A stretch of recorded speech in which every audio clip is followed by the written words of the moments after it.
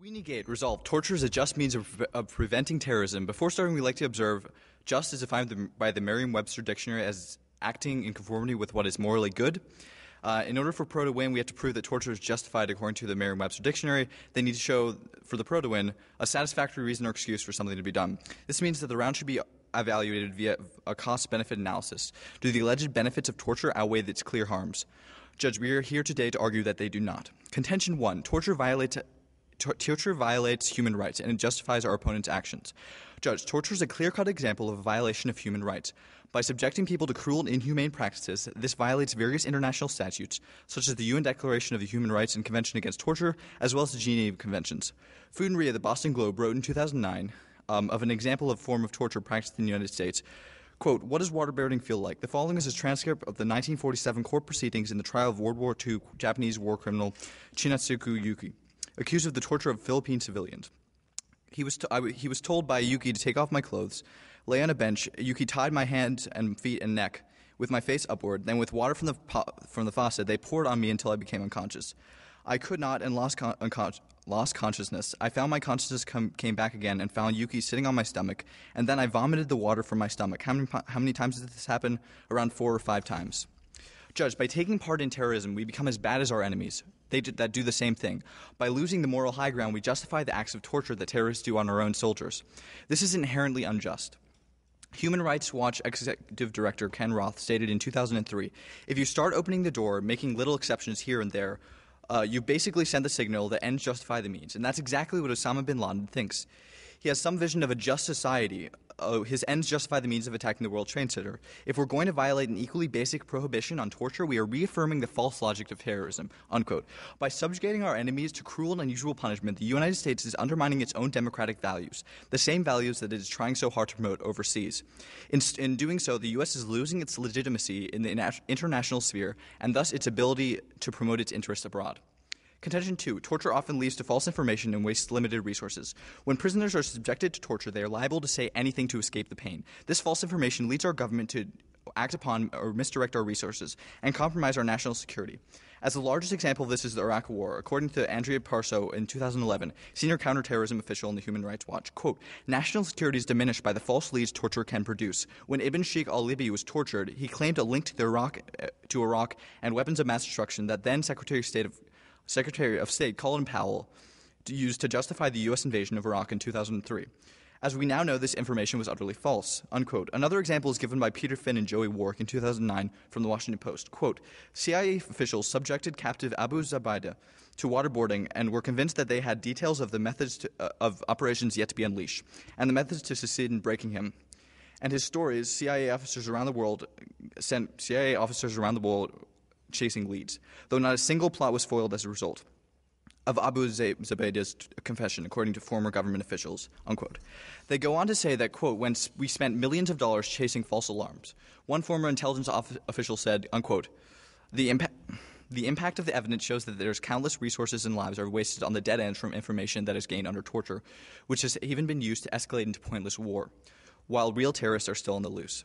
Contention 3 our, acts of torture is used as a tool to recruit new terrorists. Terrorists utilize the images and videos of torture in order to inspire others to join their forces. They use it in order to justify their cause. By showing potential recruits the extreme abuses that other terrorists are subjected to, Andrea Prasow clarified that many officials reported to the foreign fighters joined the war in Iraq following the release of the Abu Ghraib abuse photos. Um, Brian Jenkins, also from the RAND Corporation, elaborates that the inhuman treatment of subjects promotes their recruitment efforts. And for these reasons, I urge a con ballot.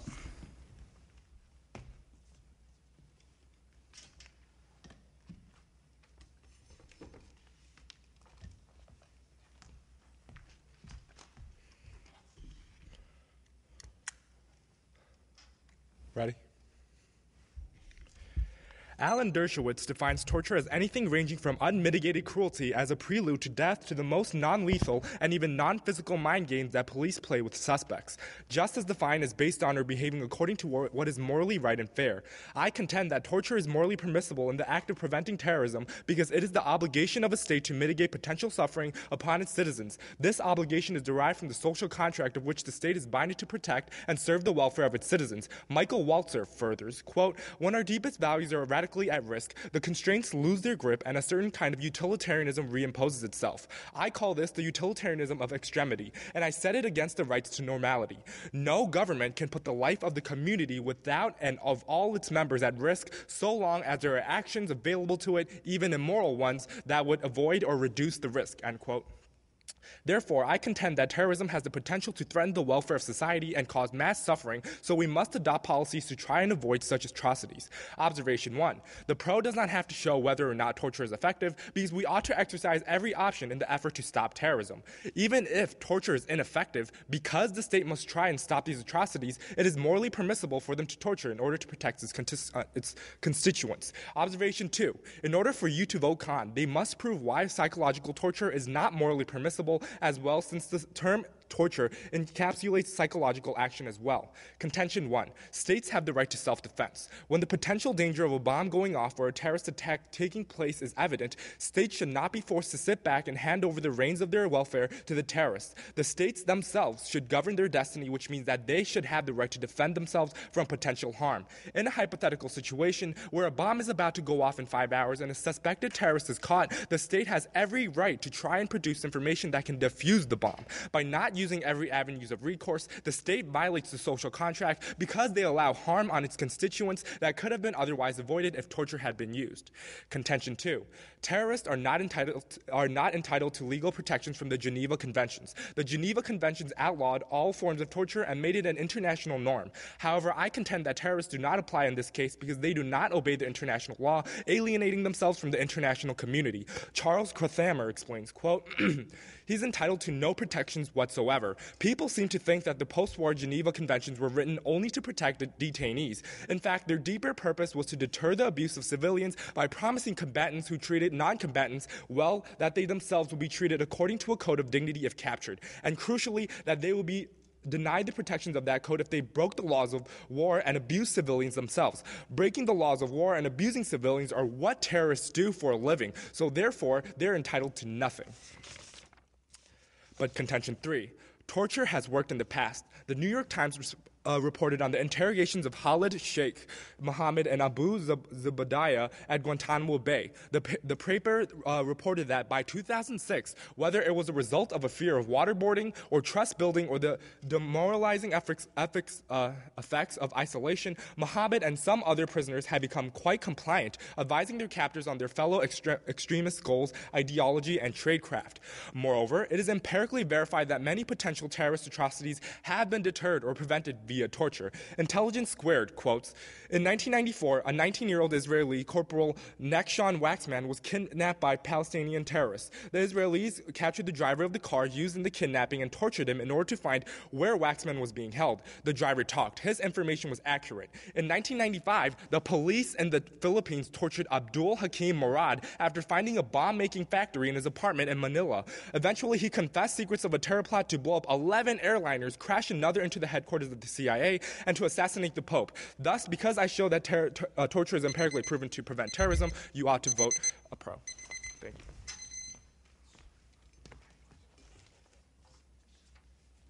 Okay. Are you going to time?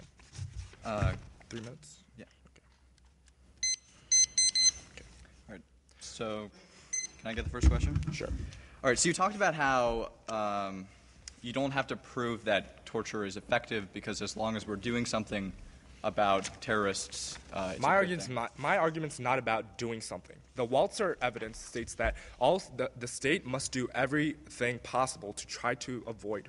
right. But if, if the things that they're doing don't actually work, isn't that kind of a relevant fact? That's exactly where contention three comes in. I show you that. It All right. works. But, but you said earlier on that it didn't really matter whether or not it was effective as long as we're doing something. well, effective and working. Because something could be ineffective, but it could still work, right?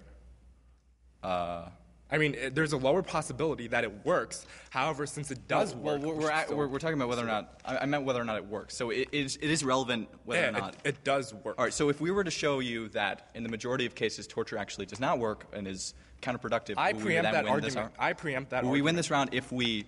Absolutely not, because the government, regardless of whether or not something is effective, they still have to exhaust all avenues of recourse before they put the But, white flag. but shouldn't they be? Should, wait, can I can I just finish this? Sure. So you're saying that even if something is ineffective, the government should be engaging in it?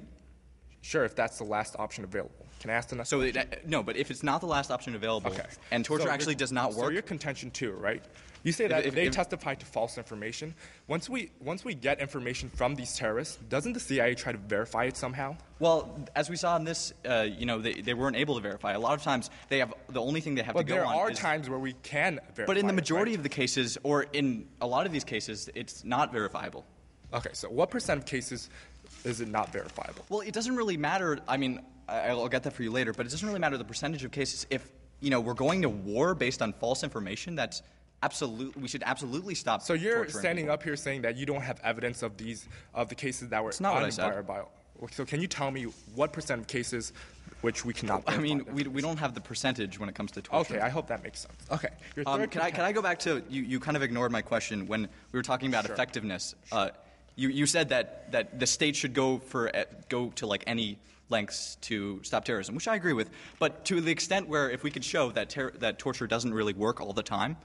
Or, or it doesn't work to, to the majority of time. Wouldn't we then win this round? Because the state shouldn't be going after something, wasting resources on practices that don't actually work. Okay, so in the case that a thousand civilians are going to die, we should resort to Right, but if, if, resort. if right. that, that, that same testimony is then allows us, it makes us go to war for false reasons. Which, Your argument about I have to prove why it's effective is not true because the government has the obligation to its citizens, which means that they have to do whatever it the government possible. has, has the obligation to use effective means? Why? You would have to give a counter interpretation if that is true. Why do we have to use effective means?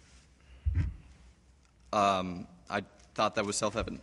Okay, can we talk about, okay.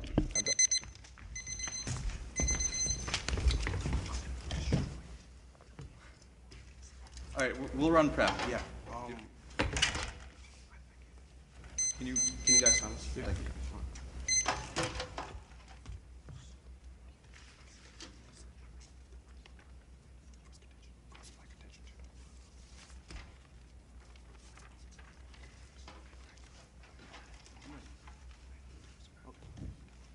hey, Fifteen seconds. all right. All right. Thank you.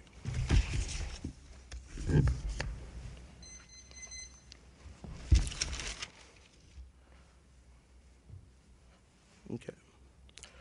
So today I'll be going down my opponent's case and basically negating their points. So let's start off with their framework. They basically talked about how an obligation is to protect the social. Um, have, the government has an obligation to protect people. We agree with that. They talked about their first observation was torture doesn't need to be effective. That's inherently false. The only just, the only way a government can act justly is to use the most effective means. Because if they're using a means that isn't effective, they're wasting resources on means that would be effective and save more lives. So at the point where torture only saves five people and regular interrogation saves 10, you should be using regular interrogation because that's more effective and it saves more lives, and that's the moral high ground. And that's what we're claiming. That's what our first contention talks about. Um, his second observation is um, you don't need to be morally, um, you need to use every avenue of. Um, you need to use every avenue of options in order to prevent the deaths and terrorism of a society. But this is also false. You need to use all the morally correct, uh, um, you need to use all the morally acceptable pathways. I mean, if we follow this rule, we could basically kill like every old person for their organs and give it to the young people. Is that morally right? No. But it's the most effective means of solving problems like organ donation. All the people with failing organs is gone, but it's not right. That's not just. They talk about in their first. They talk about in their first contention that um, utilitarianism versus normality. Any action to um, reduce threats. I just uh, talked about that. The ends don't justify the means. When you're looking at this, um, when you're looking at this case, you need to evaluate not just the ends we achieve, the lives saved. You need to look at what means we're using. Now, in their second contention, they talked about how the terrorists are not entitled to Geneva Conventions. They gave up these rights because they break the laws, but this is inherently false. They are, they're also um, protected by other document, documents such as the Universal Declaration of Human Rights and the United, United Nations uh, Convention Against Torture. And you also need to look at this in the perspective of the terrorists. They believe they're doing what is just. Um, if we follow this guideline, we're basically saying that American soldiers should also be allowed to be tortured because the terrorists in there, the terrorists in other countries see them see our soldiers as terrorists. Our opponents see our soldiers as destroying their livelihood. They view them the same way we viewed terrorists, and they would be justified in their actions. And that's inherently unjust. Their third contention talks about how torture has worked. They talked about um, by 2006, Muhammad and Abu Zayed gave up a large amount of information. I have a response to that. Um, according to um, according to the RAND organization and an FBI agent from April 27th in the Telegraph, the information they got from Abu Zayed actually came from regular interrogation. When they were trying to um, put him through torture, he wouldn't give up any information. The, when they got the information that led to all these terrorist plots, that was from regular interrogation. Um, they also talked about how they saved a child from a car, and they talked about a third plot about um, the, this case in Manila. These are isolated events. We talked about an entire war that was started off of false information to justify. Our points outweigh them at this point. Um, they also talked about um, they also talked about the ticking time bomb scenario. I'm sorry I skipped over this. It was in the second contention. The reason you shouldn't look to this um, this kind of scenario is because it's never actually occurred in real life. Um, according to John Moore from the Time magazine in June 2011, the ticking time bomb is a false scenario. Any terrorist group capable of carrying off a sophisticated attack knows enough to compare compartmentalize the attack. The operatives are only told what they need to know. There would never be enough time to actually like prevent this attack, um, this attack from happening by physically coercing them because they're looking outside the because our opponents are looking outside the norms of reality because they're willing to use immoral um, actions and the means and the ends are not justified because we've talked about in our own case how it leads to more deaths because more terrorists are brought about, more terrorism is brought about, and how, um, excuse me, and how, how more terrorism is brought about and how terrorists use this to justify their actions. We can see in the resolution that um, the resolution has been negated because torture is no longer a just means of preventing terrorism because it's not the most effective means and it's, um, it's not moral in methods or um, ends. Thank you.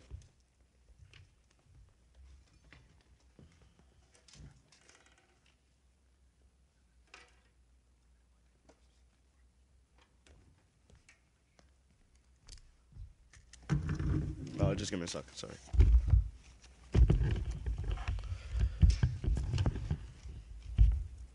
Okay. Everyone ready? Yeah. Opponents? All right, awesome. I'm going to go uh, down their case, and if there's time, down mine. All right. Okay, so at the top of my opponent's case, he's talking about um, various aspects of, uh, in order for the pro to win, they're going to look at a cost benefit analysis. So I'll get to that later in my rebuttal. But moving on to their first contention. Their first contention is talking about the violation of human rights.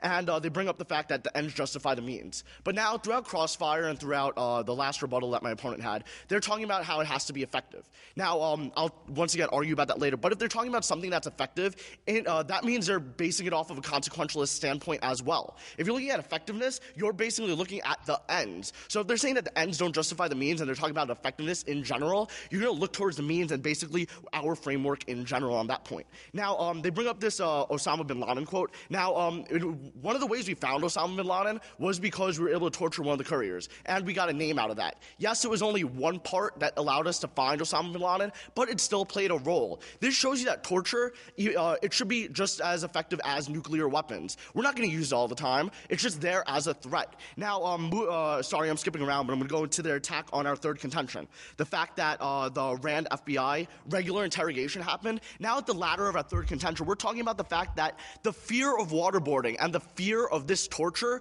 is exactly what led to the information. Furthermore, the Philippines example is a perfect example of a ticking time bomb. Because we show you in that example, and my opponents just claimed in the last rebuttal that's not possible, that we can actually find and deter this from happening. When in the Philippines example that we gave you at the end of the third contention clearly shows you that it is effective and that we have done it before. Now, moving on to their second contention.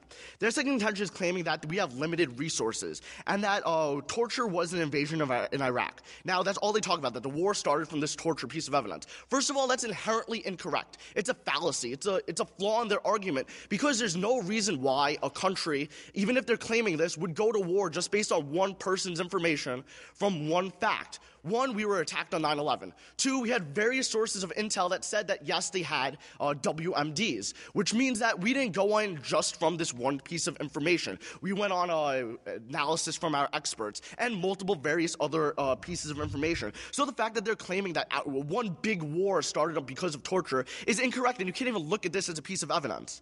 Now, um, on to the third contention. They're talking about its tools to recruit, and we and uh, even in their rebuttal, they're talking about the fact that um, if we're treating uh, terrorists with torture, obviously they're going to be able to recruit more. Now, they recruit more for various reasons, and it's not just because we're able to torture them.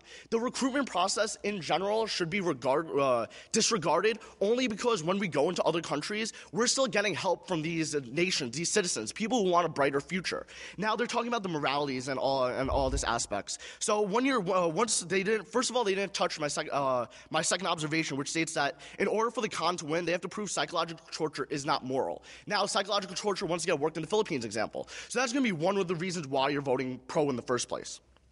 Now to continue down, once again, because and as uh, David Cole defines uh, terrorists as. Um, profession by definition an unlawful combat uh, combatant. He lives outside the laws of war because he does not wear a uniform. Meaning, all these Geneva Convention examples, all this. Um, examples of human rights declaration can be dropped on my opponent's case. Now, um, once again, we were, we're showing you on the affirmative that it has been effective, and that it's not like we're using it all the time. Torture is one used as an intimidation factor, just like nuclear weapons are, mutually assured destruction almost. But in this case, at least we get information. And our second point is, uh, even though my opponents claim that uh, they're not really searched into, they're searched into before we carry something out. Even if we have a raid and that one instance we're wasting resources, if we don't use torture, what else will happen? What information aren't we gaining, especially in these ticking time bomb scenarios that I've given you? So if you look at this as a big umbrella, um, we're showing you the morals aspect of this, and the factual is on the affirmative side, meaning I see nothing but an affirmative ballot. Thank you.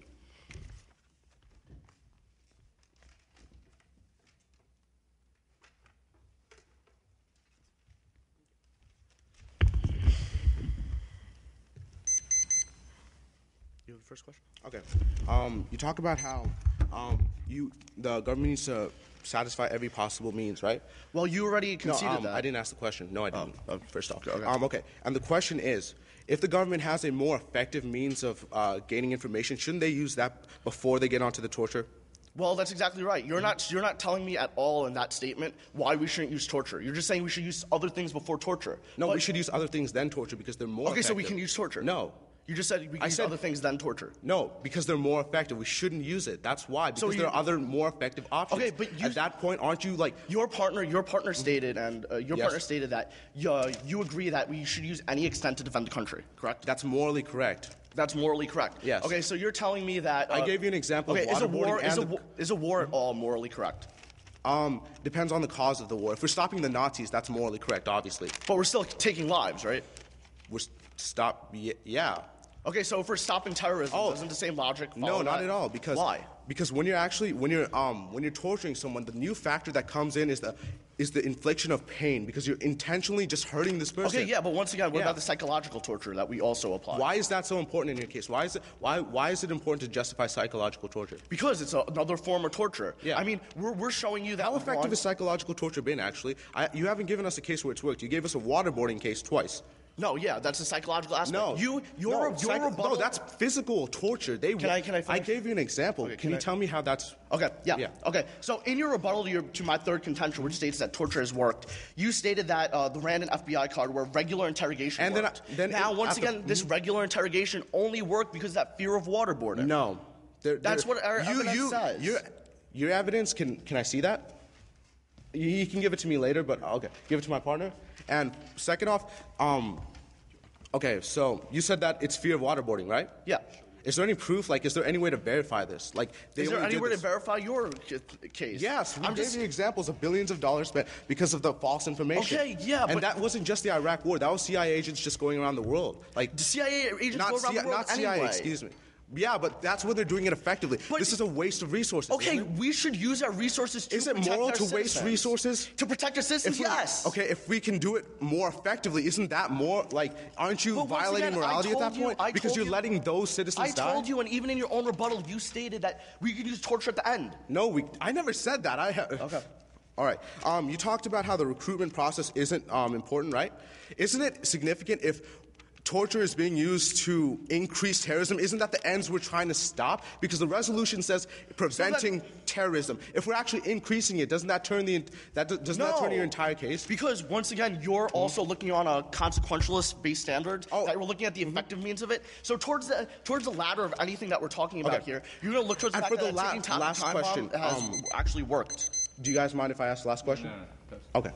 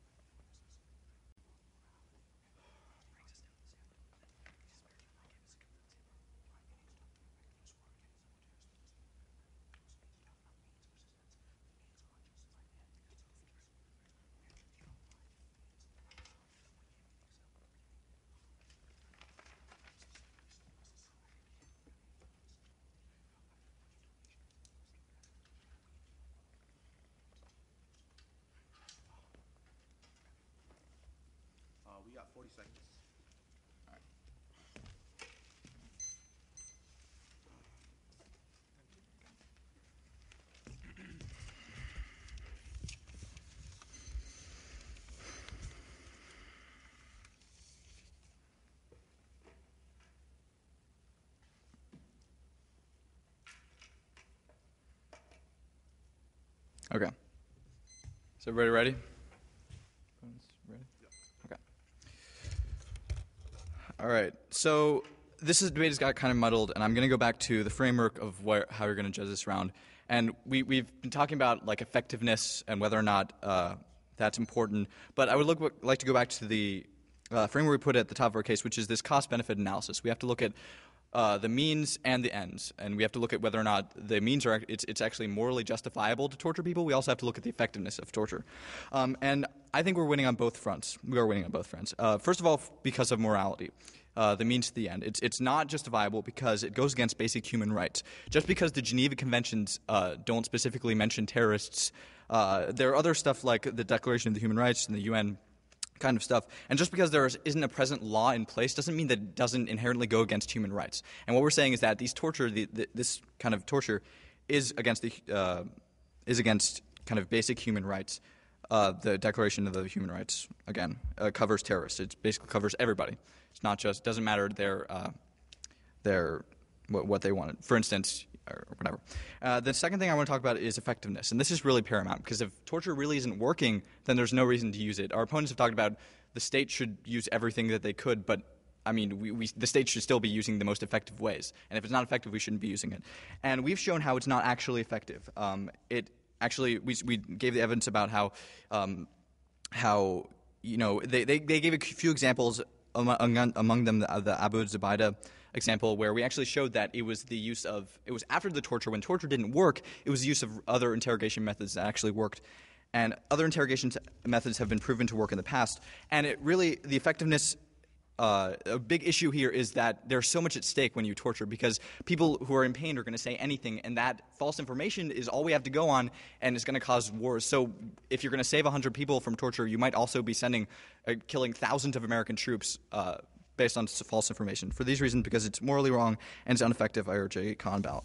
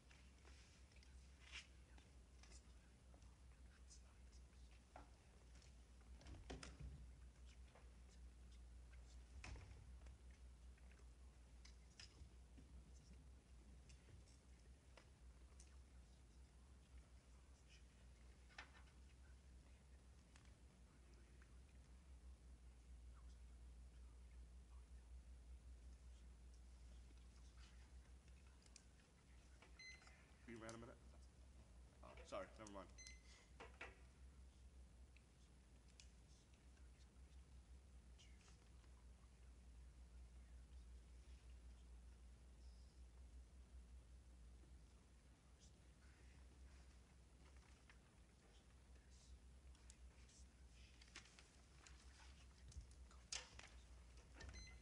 Forty-five remaining.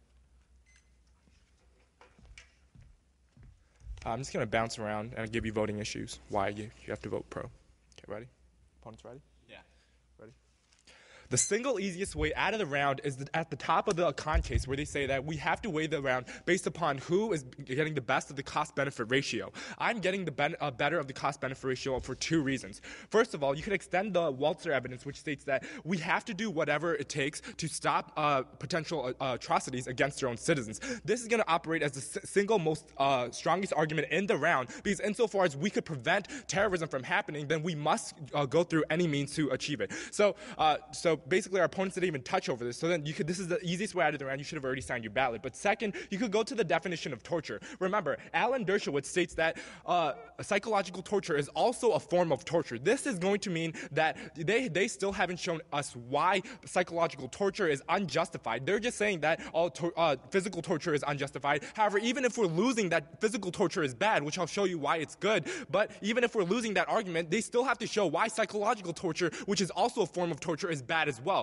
They're not doing that. They're not doing enough work there. Then you could go to where they say uh, they say that we don't show any examples where torture has worked. But then you could go to the uh, contention three.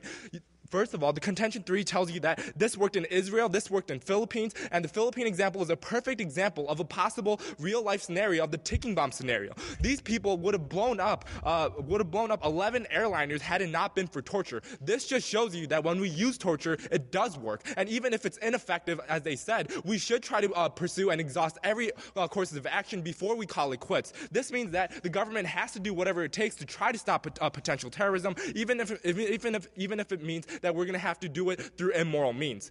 But then the other second, uh, the other easiest way out of the round is their response against, against contention two. They say that terrorists still should have uh, basic human rights. However, as I stated, I preempted this argument by saying that because they alienate themselves from the international community, they don't deserve any kind of protection from that community because they break the fundamental laws that the uh, society is governed by.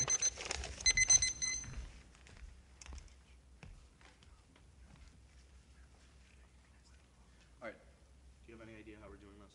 Um, Oh yeah. oh yeah, it's all four of us. All right. You want to stand up? How do you? Uh, one mic. I don't know. Let's just go up there. See.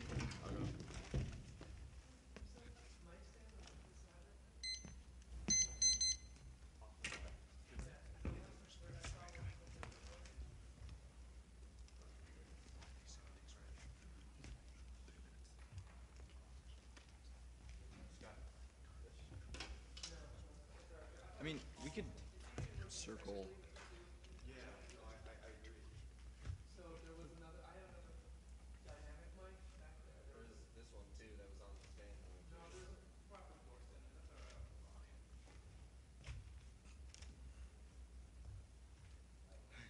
Do you us to? I mean, we, we just circle around this, this mic. Oh, that's- If you like, and you can lean in, and that way, you know, as long as you're kind of within the range you had, you be effective. Oh, there's a second mic. Oh. Okay, we'll wait. Um, okay. You got it? Are you ready? Yeah, three mics. All right, talk to the, talk to the judge. No, we face each other. All right. Okay. Okay. All right.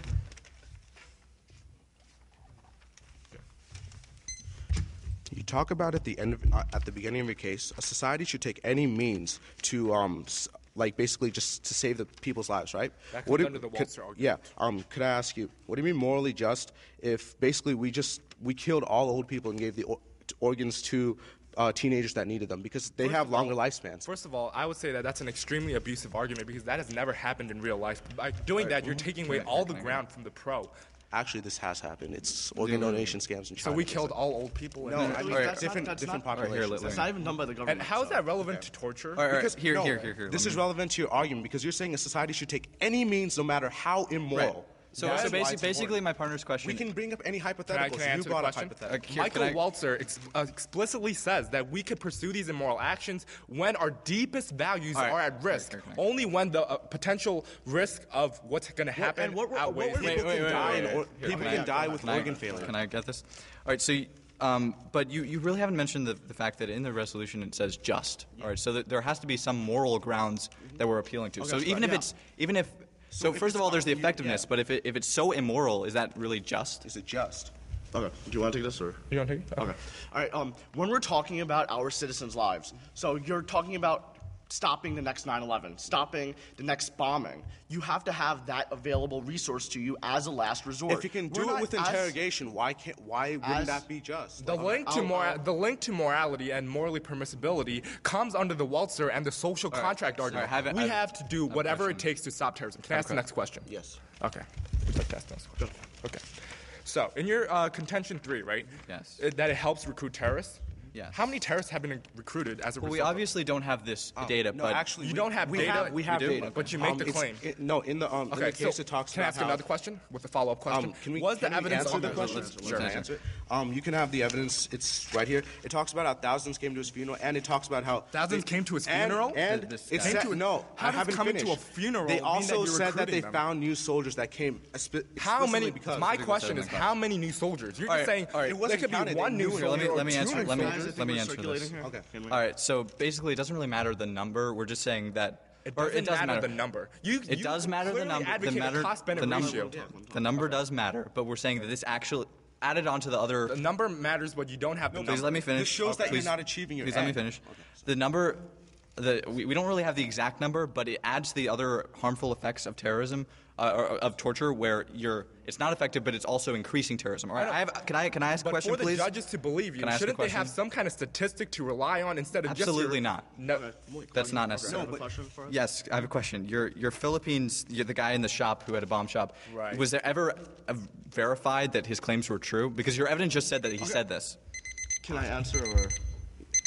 Okay, so when you're when you're talking about uh, torture in general for interrogation, that happens after the interrogation. No matter what information is given in regular interrogation or torture interrogation, that's still being searched out. So you're not really ba- wasting any resources.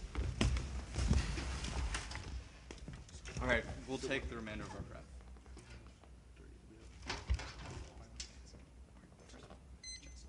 Yo, guys, two or one?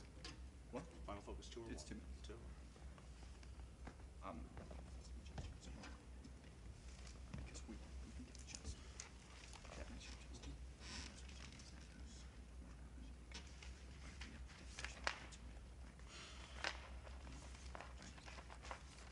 Declaration of human rights. Whether you're not gonna be also- I mean, I have one.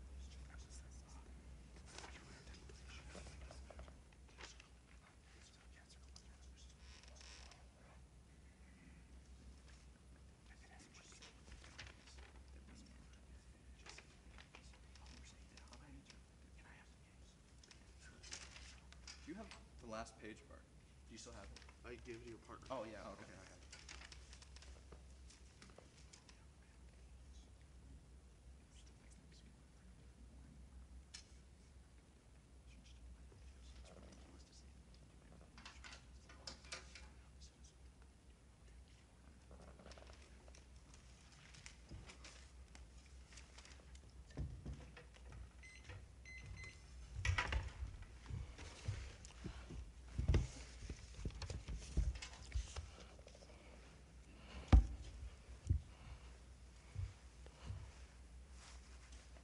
right.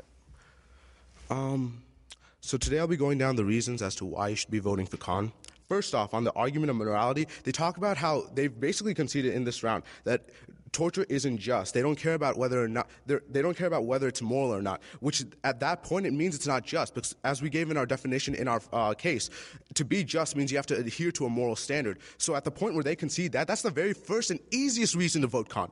Second, on um, they talked about how um, something I'm just bringing back from the summary. They talked about how psychological torture, um, how we didn't prove it's not just. We did. We talked about how it actually brings up false information, and that was in our case. So at that point, you're using a method that's not effective. So you're not using methods that are effective. You're wasting time and you're wasting resources, and that could save someone's life. You're basically losing someone's life because you're not doing uh, um, what you're not gaining your information effectively. Um, they talked. Um, we talked about how the UN Declaration of Human Rights, they said that terrorists give up their rights. We gave you the example of the American soldier. An American soldier, just because he's in a war, doesn't give up his rights. They, so, um, terrorists in other countries see our soldiers as terrorists, but we don't, we don't allow them to be tortured. We don't think it's just that they be tortured. Each side thinks they're doing the right thing. Um, on the argument of ends versus means, we've destroyed both the effectiveness of the means and the whether or not they achieve the ends. And if they can't have either of these, these are separate reasons to vote con. First off, we have, we outweigh on the means because we talked about how interrogation has been more effective. We talked about how um, regular interrogation has been more effective. We talked about in our uh, second and third contention, just extending from what we talked about in the summary, that at the point where the ends are actually that terrorism is increasing, where we're less, we're fighting terrorism less effectively because, um, because quote unquote, we spent millions of dollars facing, um, chasing false alarms. One former official said this came from our case by Joe and Finney Warrick from Washington Post. We're sacrificing lives because we're not actually go- we're going after false leads. We're not saving lives. We're not fighting the war effectively. And then we outweigh on ends also because we're increasing terrorism. The resolution says we need to um, combat terrorism, and for these reasons, we urge a con ballot. Thank you. Uh, we'll take our 30 seconds. Can you see, uh, can you see the first page of your case? Yeah. Um, you can have the whole thing.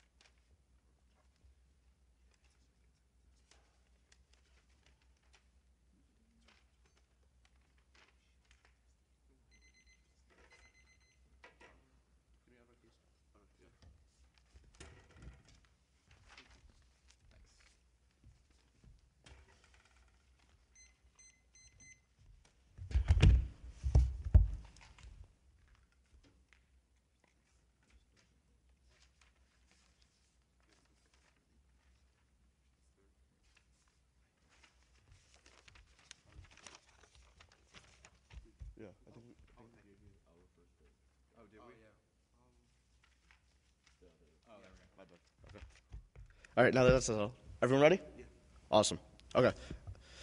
So uh, basically, what this round has boiled down to is, as my opponent said, the morality of the situation and um, its effectiveness. So let's go to the morality first. Now, my opponents make this uh, big claim at the top of their final focus that we're, talking about no values here. We're talking about that we do whatever it takes to get what our government wants done. And that's false. Because at the top of our case, and as my partner kept saying, the Michael Walzer card states when our deepest values are radically at risk, the constraints lose their grip and a certain kind of utilitarian reimposes itself. Which means at this point that we have to take actions to keep our members safe. So we're talking about national security here. And our greatest risk is one, the deaths of our citizens, and two, the impacts that that has. Because all this negative impacts, if you look at the impacts from 9 11, from the Oklahoma City bombing, from any terrorist attack, these aspects are the greatest harms to our values and our morality. It's a de- it's it brings the United States to a level that uh, to a area that we don't want to be at. That uh, the levels that that affects outweigh the use of torture. Now my opponent keeps talking about how interrogation is is more effective than torture. Sure, it is. Only because regular interrogation is used in everything in your regular uh, uh, cop interaction. So, for that reason, why you can't just look at that. Once again, regular interrogation, even if we get bad information from regular interrogations, we're still wasting funds seeing if that's true. So, regardless of where the information comes from, we're still wasting time and we're wasting resources anyway. So, if we get information through torture, that the same path is still going to be followed. Meaning, torture should be used as once again that last resort. And even though my opponents claim they didn't state it, they did say that they would agree to the fact that um, they take any extent to defend the country, as well as torture as a last resort. So that's more. That's the first voting issue. And the second voting issue is because psychological torture has worked in that uh, Philippines example, even though they claim it hasn't, and we can't prove it exactly. You're still seeing the fact that torture can be used as a psychological torture, and for that reason alone, you should vote affirmative. Thank you. Sorry.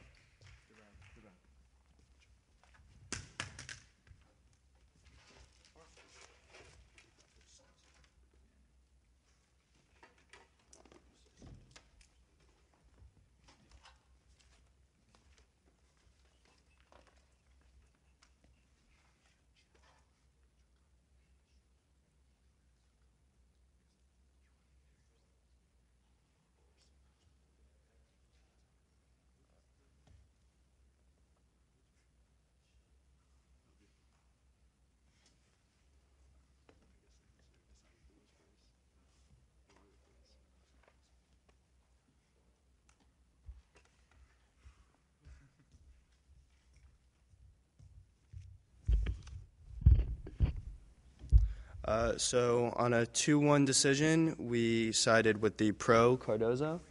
Um, for, for me, it seemed that both sides agreed that there were two issues, morality and effectiveness, uh, but both ended up looking at a standard of either cost-benefit analysis or utilitarianism when our deepest values are conflicting. So effectiveness really became the main argument. Um, and in the end, the arguments that uh, torture helps regular interrogation, that it's worked in the past, and that it can be your last resort kind of carried the day. And so I sided with pro.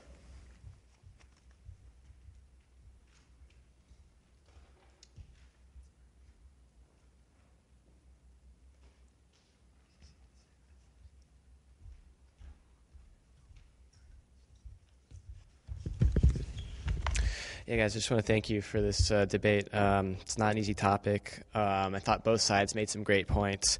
Uh, for me, the kicker was the effectiveness argument. Thought Bronx Science did a great job of um, justifying that. Um, I didn't. I thought Cardozo didn't really have an answer for that, um, and for that reason, I picked uh, Bronx Science.